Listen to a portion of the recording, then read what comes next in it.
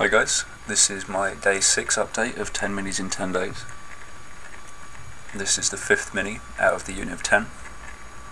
So I'm halfway through now, or at least half of the minis have been uh, completed. So uh, yeah, 5 down, 5 left to go.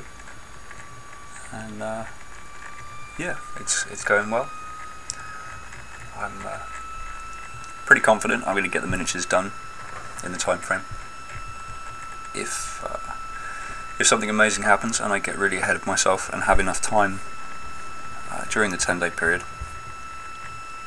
uh, I may do these guys a, a, movement tray as well, but we'll see.